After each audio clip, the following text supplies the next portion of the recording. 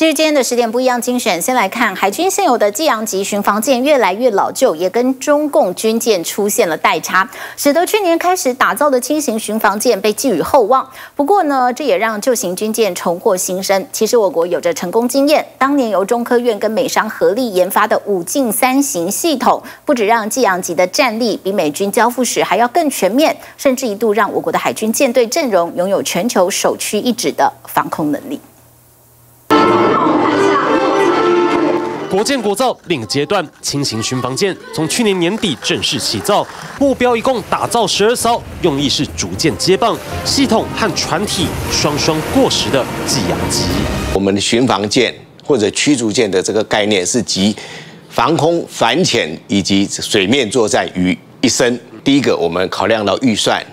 第二个，考量到这个舰艇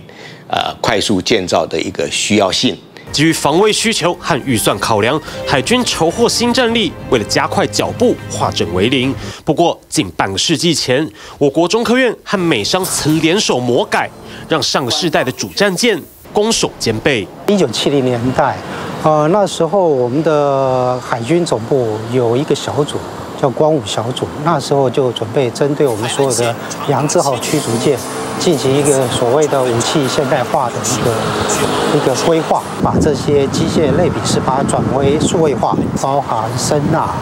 包含武器装备测控，包含整个的呃战场的状况都可以整合在一个电脑上面的呈现，甚至它可以提供建议说怎么样去接战。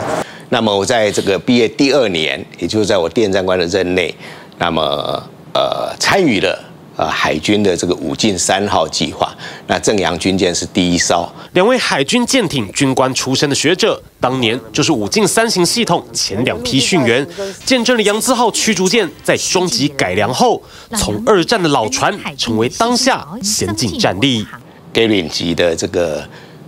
驱逐舰很非常的阳春，它没有飞弹，它只有五寸炮，因为它有很好的这个。雷达系统跟这个射控系统，同时也加装了这个呃箱型的这个呃标准一型的这个防空飞弹。后来的验证跟这个演习演训中的这个实弹射击。这个命中率都很高，不止同整舰上武器，也靠创新设计增加舰艇存活率。这是全分散式计算的一个战斗系统，好处就是说它的整个的康手所有的计算单元都是独立，而且本彼此都可以 cover。那在功能上来讲，它只要一个地方有故障，不会影响到所有的系统的运作。以色列六日战争宣告了海军飞弹化时代来临，我国跟进筹获了精装系统，期间也和美商 Honeywell 公司携手开发武进系统。前两个版本帮十三艘扬字号安装了反舰防空飞弹，也让海军正式使用战斗系统。但基于长远考量，武进三型用了全球首创的分散式电脑架构。大幅增加了追踪目标，也具备初步区域防空。派里级的船是比杨志豪要新很多啊，是它的战斗系统是比武进三号还要差的。杨志豪退役之后，武进三号这个系统可以移植到其他的船上来用，就代表它的它的时代性是并没有落伍啊，甚至于在当然大概近十年才逐渐的。产生了这个啊跟不上时代的情况，划时代的进展使于军方话语权比现在更大，而大胆大量采取商售解决问题的方式，如今看来却难以复制。它是一个思想非常先进的东西，先进于比美国的神盾系统在很多地方还要超越啊。那可是没有研发完成，你敢不敢用？赌注啊，它有很大的风险。可是我们就是做了，做商购的话。那你这个，我们军方的人要投入的这个精力非常非常非常巨大啊，而且你要担的风险更大。随便一个什么立法委员或外面的这个舆论都可以批评你说你可能图利厂商啊。尽管战力更迭，五进三型仍在部分现役船舰上肩负海防重责，受惠最大的莫过于济阳级巡防舰，战力不止。反潜限定为什么能够移植？就是因为它系统的开放性，它可以随时的重组、拆散、重组，再建构一个系统。科技的研发它有延续性的，它不会一下子跳出来，它一定是在既有的基础上再往上提升。技术突破靠的经验堆叠，在我国国防自主全面冲刺时，过去的成就或许还有运用价值。TVB 新闻朱光宏、叶曙台报道。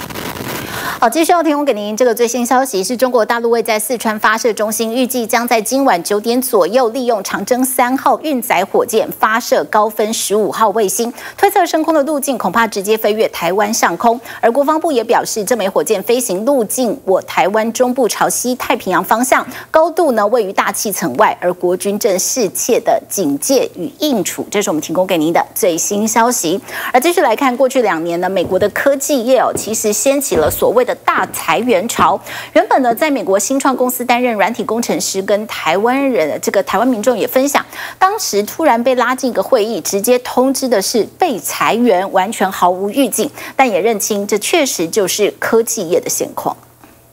就只有你的主管跟人资他们会说，哦，好，呃，不好意思，因为我们今天呃。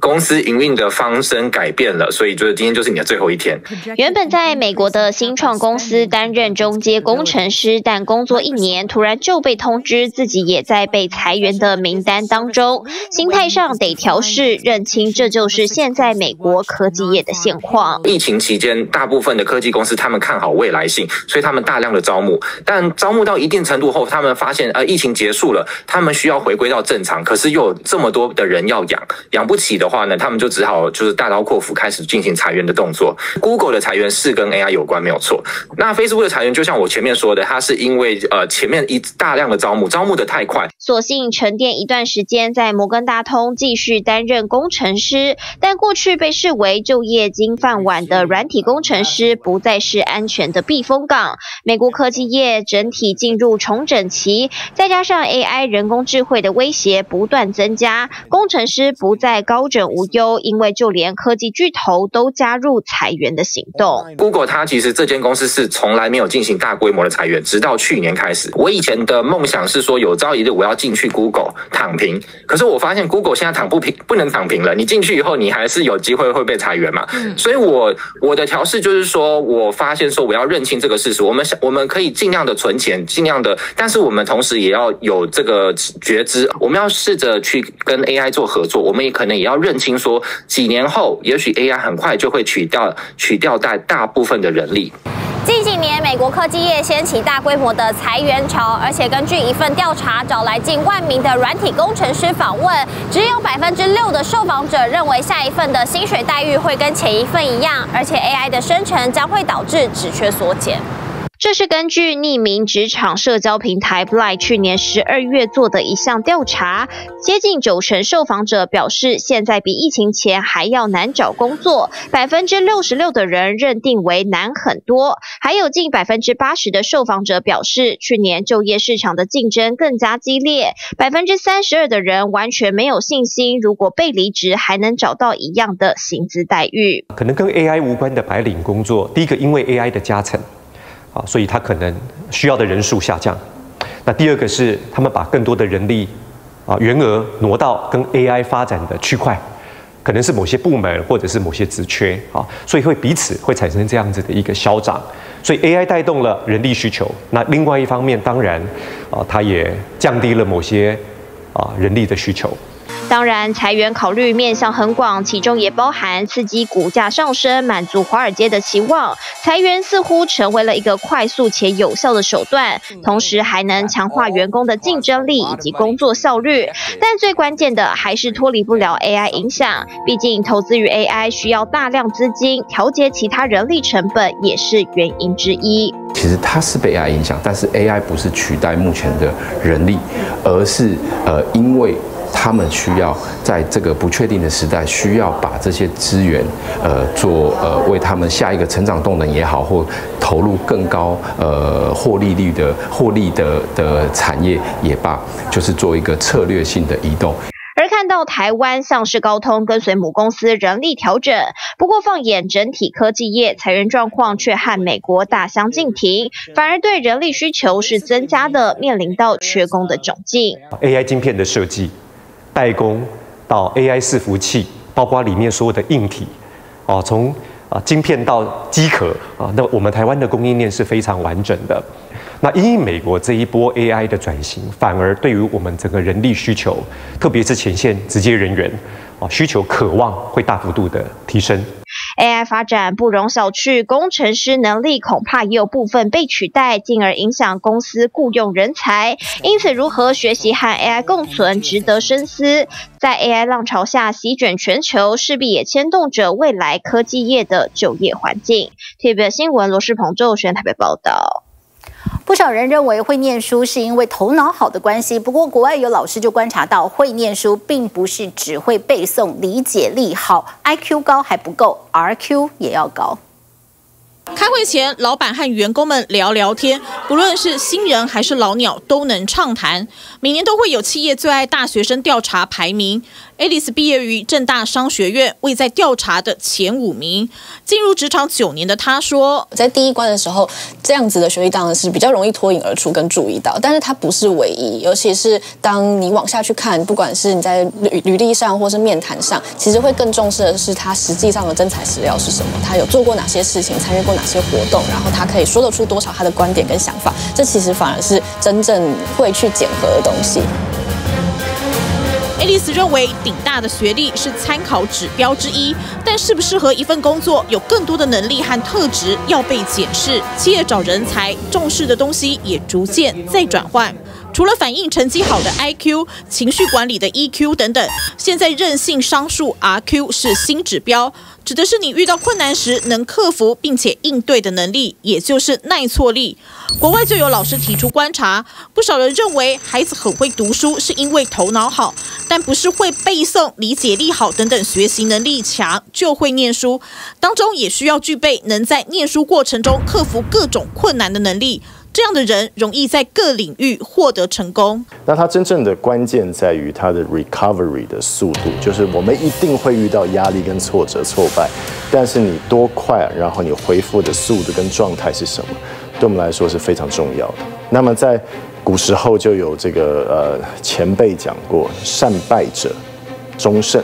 就是他能够处理败仗这件事情，他最终会赢得这个胜利。所以善败就是存活着，你能够在每一件事情上存活下来，不是奄奄一息，而是你可以存活再回过头来。身为管理者，认为员工处理困难和危机的能力很重要。以这家公关顾问公司来说，他们在招募员工时，会透过小组个案研究竞赛来观察求职者的表达、执行力、团队合作等等。而在二零二四年企业最爱大学生调查中，企业建议大学生培养的能力以解决问题为第一，有百分之六十点五；再来是沟通表达，百分之六十点一；第三是韧性和适应性，占百分之五十四点二；还有团队合作跟自我学习都在前五名。我觉得能不能接受跟承认自己的不足够是非常重要的观念。当你可以接受、认知跟承认自己的不足够，你才能真正接受自己足够的部分。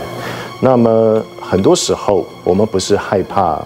做错事、害怕失败，而是害怕做错事、失败之后，原来我们发现自己不如自己原本想象那么优秀，所以我们干脆不做，干脆出一张嘴，或者干脆用批评取代的解法。工作越久会越有感的，就是你的自制力。学习力，然后自我精进跟自我实现的能力，因为就像在学校的时候，都会有一些东西去驱使我们要去前进，可能说是考试，可能是跟其他人的竞争，可能是你要考上一个好的学校，所以你会一直有一个你必须要去做到什么。但是到工作之后，其实很多人就会开始失去这件事情。职场上自我学习的能力不能停。根据人力银行的调查，企业对于社会新鲜人最在乎的条件是学习意愿，再来是责任感和稳定度。而这几年，不少公司还特别想网罗数位人才和跨领域人才。金融业部分在这种储备干部哦，就会偏重所谓的这个跨领域的能力。特别很多我们看到储备干部 MA 的工作，他希望你可能不单是呃这个。金融啊，或商管，可能有些甚至希望你可以在大学时候主修或者是辅系是呃资讯、资工领域或者是法律领域的，因为现在越来越多金融业会跨足所谓的这种呃 FinTech 啊这个金融科技或者是这种法尊啊防治洗钱这个领域。时代在转变，从员工到雇主都要具备学习思维，企业也要给予资源和后援，让员工往前。惯老板和惯员工都不 OK。TVBS 新闻张安王一杰推不到。现代人工作压力大，每天都被时间追着跑，学会适度的放空很重要哦。而且放空其实是一门严肃的脑科学。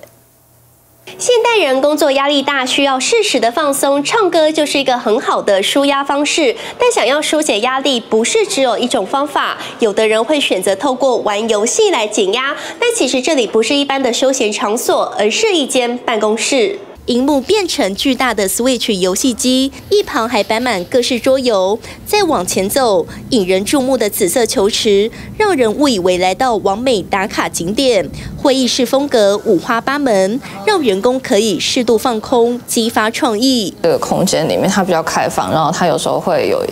应该说大部分的时间是会有背景音乐的。那对我来讲是一个比较放松的状态，就比较好去做一些就是。可以放开比较弹性的思考。我们公司有这种开放式的阳台，非常的好，因为有时候可以呼吸一下新鲜的空气，顺便休息一下，也可以稍微听一下，就是像像外面这种白噪音，有时候会帮助你稍微放放空，然后放松，理清一下原本复杂的思绪。来自戏谷的新创团队，坐落在台北的办公室，五百平的空间，每处都是惊喜，还设。置了咖啡厅、户外庭院，员工可以在各个角落与同事交流，不用时时刻刻紧盯荧幕，让大脑放空休息，再重新上工。需要去尝试新东西，有时候需要发呆，有时候需要就是放空，去想一些不同的东西。所以我们在这边。呃，就是也有像我们这个 cafe 这边，就是 casual，就是在这种比较 relax 的空间，你就可以在这边喝个咖啡啊，你可以跟跟同事聊聊天啊。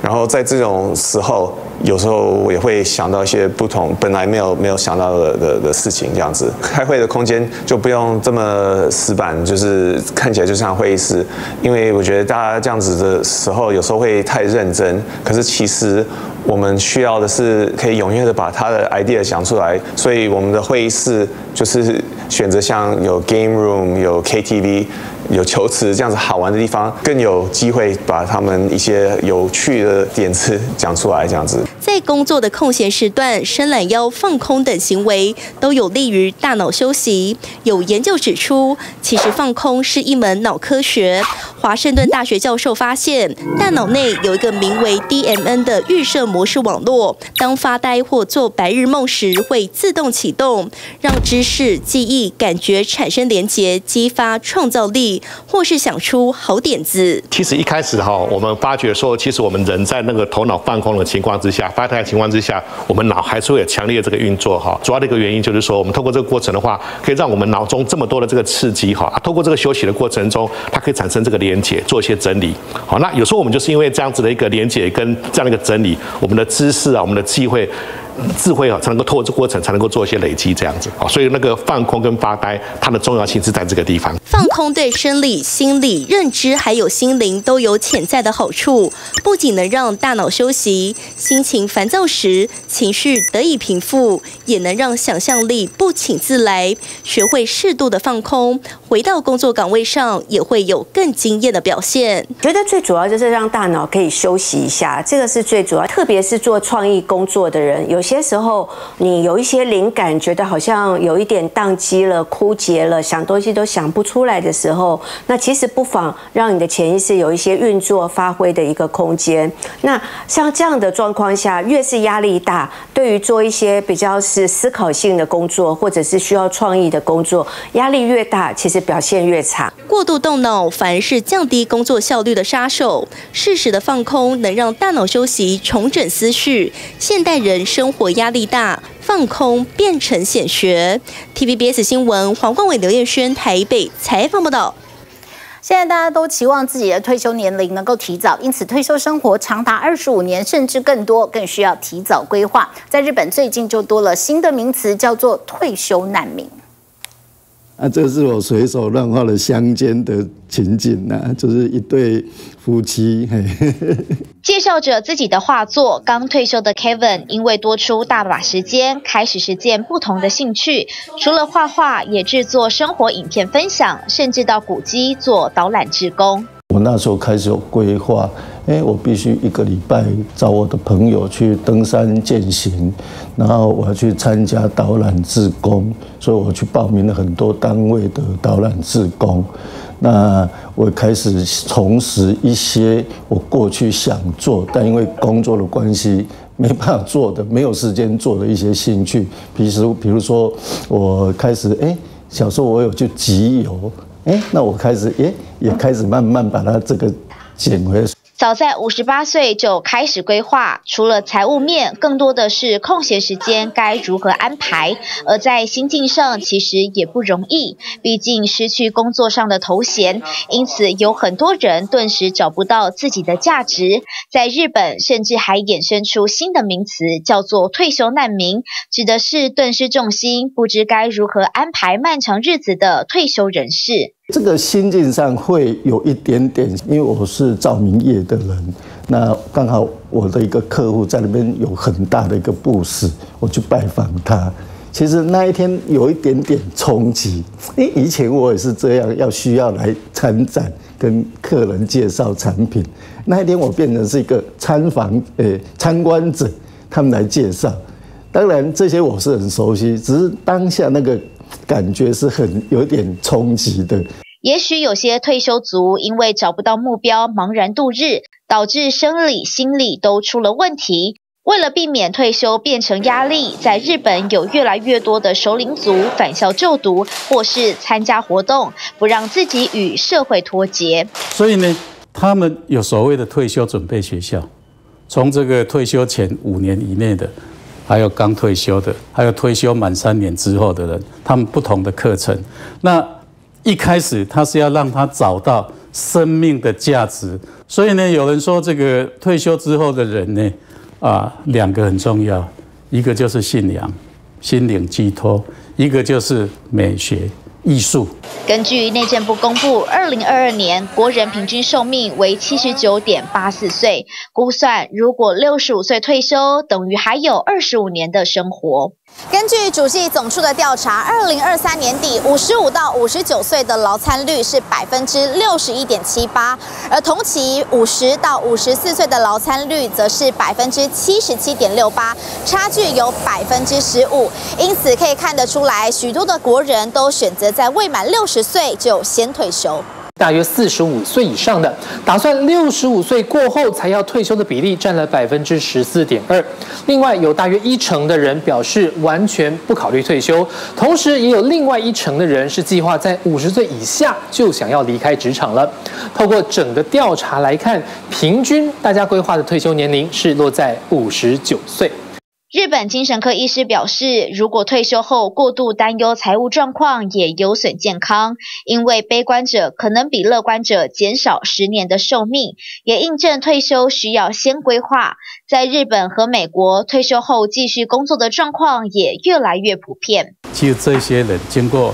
北欧国家的研究都非常好用，但是他们的特性跟年轻的时候不一样，他们累积经验丰富，他们有成熟的智慧。所以他们有稳定的情绪，他们看事情周延，处理事情呢，他很沉稳，所以呢，他可以把事情处理到最圆满。那年轻人有年轻人的长长才，那他们是合作互补的。据当退休难民，除了要有健康的身体，还有志同道合的好友、足够的积蓄以及兴趣，如此一来，才能让自己的退休生活走得安稳又长久。TVB 新闻和这样一些单词台报道。通常过年期间，大家都会吃比较多东西，通常热量也比较高，运动比较少的情况之下，体重就会直线上升。对很多想减重的人来说，有人会执行低碳饮食，来看看过年之后可不可以秒瘦。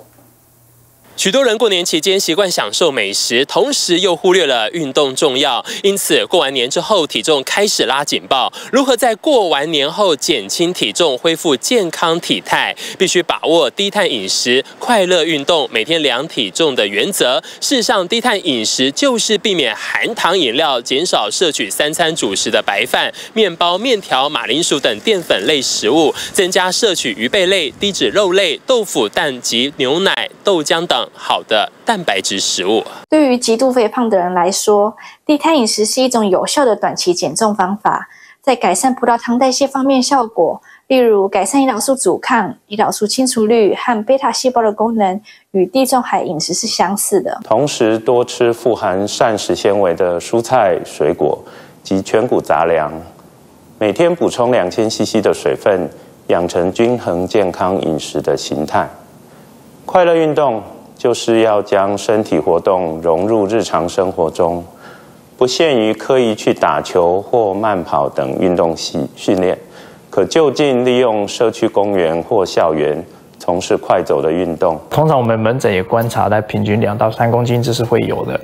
那等到过完年后呢？接下来要做的事情是，你如果要想要把它减掉你原先的体重，增加了原先的体重。那最好呢，就是第一个，当然回到工作岗位上，你的活动量就会增加。低碳饮食一定对糖尿病患者的心脏血管或糖分控制绝对是有好处的。血糖过高会导致全身血管疾病，就是所谓的心脏血管发炎指数会升高，也会导致氧化压力增加。所以，如果身体的器官长期处在糖分过高的情况下，就会呈现自由基与抗氧化物之间不平衡的。状态低碳饮食对糖尿病来讲，除了可以控制血糖以外，也针对施打胰岛素的病友减少胰岛素的剂量。但是生酮饮食是绝对不可以的，生酮饮食等于零淀粉摄取。糖尿病病患长期没有淀粉类摄取，身体就会没有糖分可以补充能量，就会开始燃烧蛋白质与脂肪，最后导致酮酸中毒是非常危险的。提到低碳饮食，就要先了解什么是基础代谢率 （BMR） 和 TDE。基础代谢率部分就是维持身体机能所需消耗的基本能量，意思就是说，即使当我们静止不动的时候，我们身体也会消耗的能量。医师指出，如果摄取的热量长期低于基础代谢率，就会导致基础代谢率下降。一旦恢复正常饮食，就会很容易复胖。低碳饮食通常只具有短期的代谢益处，长期使用效果有限，而且实用性不高。同时还必须考虑长期饮食不均衡所导致的低密度脂蛋白胆固醇和总胆固醇升高的潜在风险。低碳饮食其实是一直以来比较被医疗界、学界哈推荐的一个饮食法，因为它比起譬如说生酮饮食或断食饮食。这个部分来的温和一些，然后各个营养素的配比，尤其是在糖类的部分配比又高一些些，所以对于身体的一些冲击性啊，相对来讲比较少。所以说，呃，如果我们用这个低碳饮食的话，那可以帮助，譬如说在糖尿病前期的人，延缓他走进去糖尿病。研究显示，低碳饮食能缓解肥胖问题，其中一个机制可能是因为这种饮食能改变。肠道菌群，而某些特定的肠道菌群在能量代谢和减重中扮演着关键的角色。不过，我们最好能改变饮食的认知，将饮食的目的从单纯的减重转变为健康生活的实践。如果说有糖尿病的病人使用低碳饮食的话，诶，可以帮助他们这个控糖。那我们一般人来讲啊，或者是说，哎，这些呃肥胖哦、糖胖症的病人，那用低碳饮食，其实如果你掌控的好，也可以达到这个减重的效果。医师提醒，执行低碳饮食，还是要控制一整天总热量，绝对不可以无限制摄取高热量食物，否则总热量超过，想要减重恐怕难达成。TVBS 新闻，肖云强、张正安、蒋志伟，台北采访报道。想看最完整的新闻内容，记得下载 TVBS 新闻网 APP。